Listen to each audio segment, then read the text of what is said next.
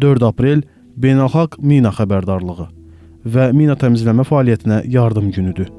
Bu tarix ilk dəfə 2005-ci ildə Birləşmiş Millətlər Təşkilatı Baş Assambleyasının müvafiq qətnaməsi ilə müəyyən edilib və hər il qeyd olunur.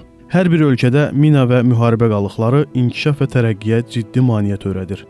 İnsanların yaşayış şəraiti, sağlamlıq və həyatı üçün təhlükə yaradır. Bu Azərbaycan üçün də xarakterikdir. Çünki torpaqlarımızın işğaldan azad olunması ilə nəticələnən Vətən müharibəsindən sonra yeni bir mina cəbhəsi açıldı. Qələbədən 3 ildən çox vaxt keçsə də, gizli müharibəni xatırladan mina kabusu hələ də davam eləyir.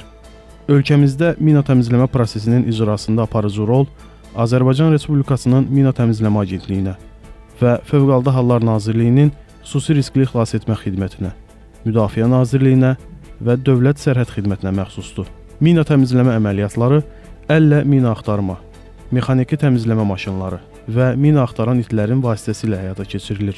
İşğaldan azad olunmuş e, dönəmdən sonra başlayan yeni fəaliyyət mina təmizləmə tapşırıqlarının icrası ilə bağlıdır və bu işdə Fövqəladə Hallar Nazirliyinin xüsusi riskli xilas etmə xidmətinin istehkamçı qrupları, e, mina axtaran itləri və texnikaları e, çox yaxından kömək göstərir. Bu işlərin sürətlə davam etdirilməsində çox böyük rolu vardır. Səbr bu işdə öncəliyimizdir. Ərazilərin relyefinin çətin olmağı, havanın dəyişkən olmasını, eləcə də metal çirklənməyə daha çox məruz qaldığını nəzərə alaraq bu işlərin mina təmizləmə tapşırıqlarının icrasının çətinləşdiyini demək olar.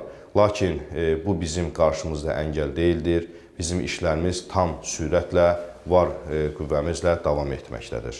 Keçək əsas məsələyə. Aparılan danışıqlara baxmayaraq, Ermənistan mina xəritəsini Azərbaycana təqdim etmir və verdikləri də dəqiq deyil. Yəni ermənilərin məkirli planları davam etməkdədir. Onlar müxtəlif vasitələrlə azərbaycanlıların qətlə yetirilməsinə cəhd göstərirlər.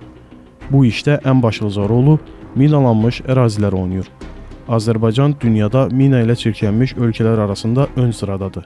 Cənubi Qafqazın digər ərazilərində olan bütün mina qurbanlarının sayından çoxdur. Azərbaycandakı mina qurbanlarının sayı.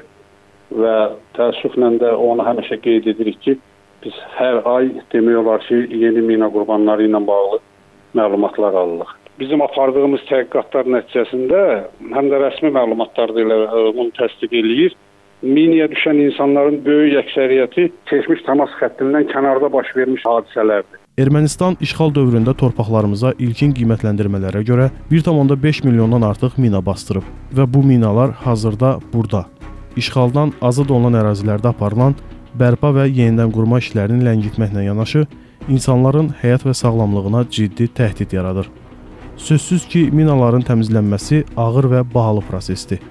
Yerin altındakı düşməni üzə çıxarmaq həm ehtiyat, həm məsuliyyət, həm də diqqət tələb edir. Bu üç komponent mina təmizləyənlərin fəaliyyətinin əsas özəyidir. Qruplarımız hal-hazırda Ağdam rayonunun işğaldan azad olunmuş ərazilərində, kəndlərdə, qəsəbələrdə, su anbarlarında, su kanallarının ətraf ərazilərində minaların təmizlənməsi və partlayış e, təhlükəli əşyaların zərərsizləşdirilməsi işləri ilə məşğuldular. Bundan əlavə olaraq ölkə başçısı Müzəffər Ali Baş Komandan cənab İlham Əliyevin qayğısı və diqqəti nəticəsində nazirlik tərəfindən xidmətimizə alınaraq verilən GCS 200 markalı mexaniki mina təmizləmə vasitələrinin də işi, rolu çox böyükdür. Robotlarımız kənardan, məsafədən müvafiq pultlarla idarə olunur. Fürsətdən istifadə edərək vətəndaşlarımıza da buradan səslənərək müraciət etmək istəyirəm ki, işğaldan azad olunmuş ərazilərə qeyri-qanuni keçidləri dayandırsınlar. Çünki bu onların həyatları üçün təhlükəlidir. Bizim gündən-günə mina qurbanlarının sayı artır. Biz e, bacardığımız qədər mina maariflən mina təhlükəsi ilə maarifləndirmə e, işlərini həyata keçiririk və onları davam etdirməkdəyik.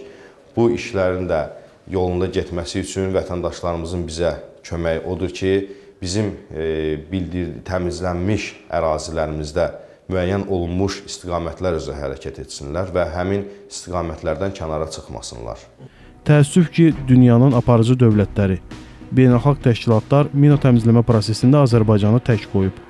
Amerika Birləşmiş Ştatları və başqa dövlətlər müəyyən dərəcədə dəstək göstərir. Amma minaların tam təmizlənməsi üçün geniş miqyaslı tədbirlərə və küllü miqdarda vəsaitə ehtiyac var. Azərbaycan bu işi 99% öz hesabına həll eləyir. Üzləşdiyimiz mina probleminin nə qədər böyük və mürəkkəb, qarşımızdakı yolun isə hələ uzun olmasına baxmayaraq, ölkəmiz mümkün ən qısa müddətdə bunun öhdəsindən gəlmək üçün bütün gücünü səfərbər edib.